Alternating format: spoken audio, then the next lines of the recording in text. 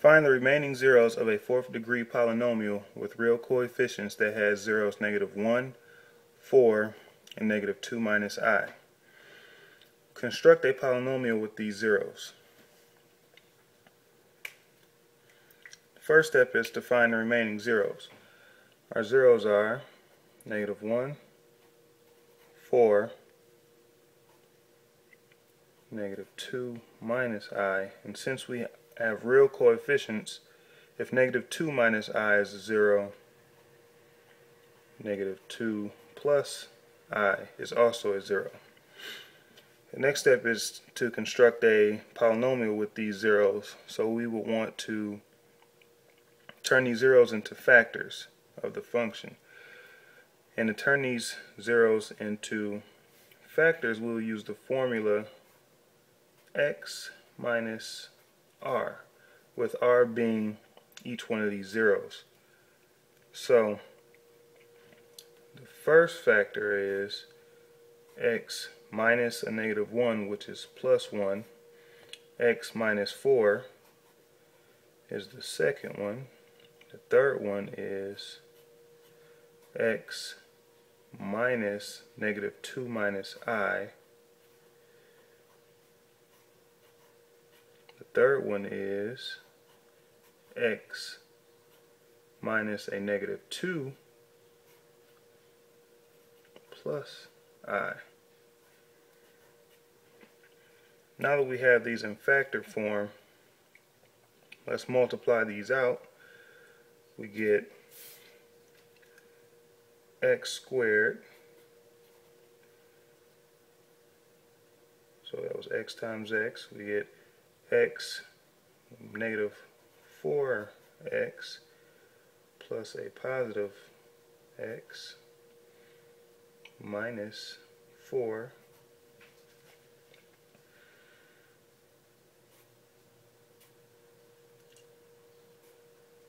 clean these up a bit. We get x two negatives is a positive.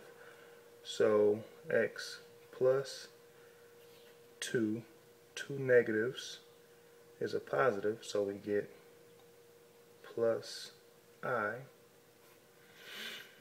And the next one, we get x, two negatives is a positive, so it's x plus 2. And a negative and a positive is a negative, so it is minus i. Now that we got these cleaned up a bit, let's factor these two out.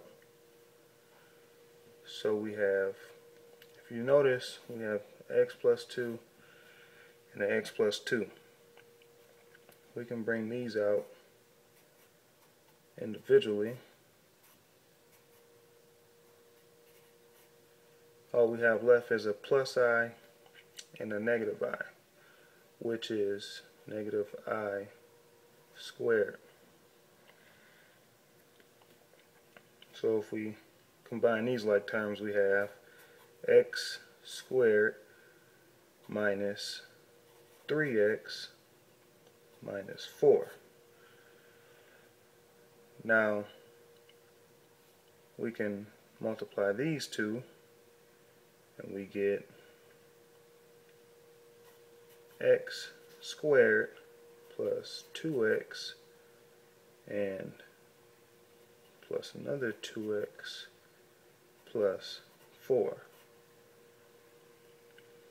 Now this complex zero here we can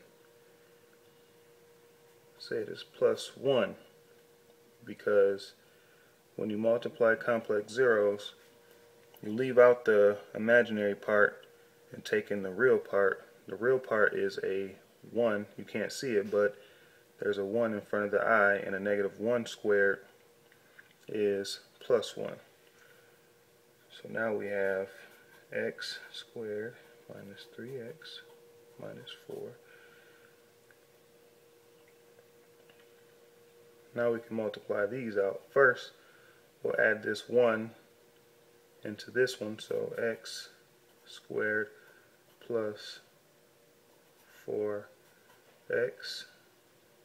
4 plus 1 is 5 and x squared. We'll bring this one back down. 3x minus 4. Now we'll multiply these two out. We have x 4 x squared plus 4x is a plus 4x cubed. x squared times 5 is positive 5x squared. Now we go negative 3x times x squared is a negative 3x cubed. A negative 3x times 4x is a negative 12x squared. Negative 3x times 5 is negative 15x.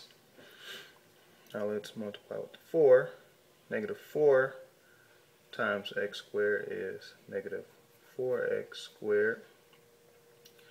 Negative 4 times a positive 4x is negative 16x. Negative 4 times 5 is negative 20. All we have to do now is add like terms.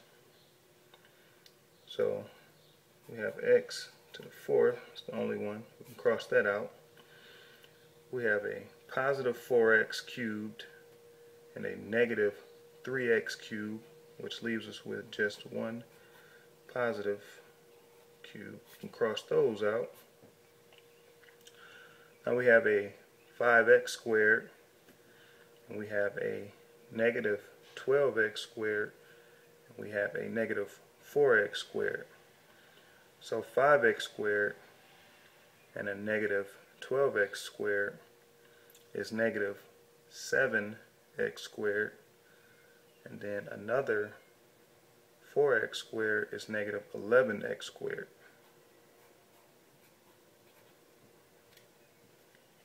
We can cross those out. Now we have a negative 15x and a negative 16x, which is negative 31x.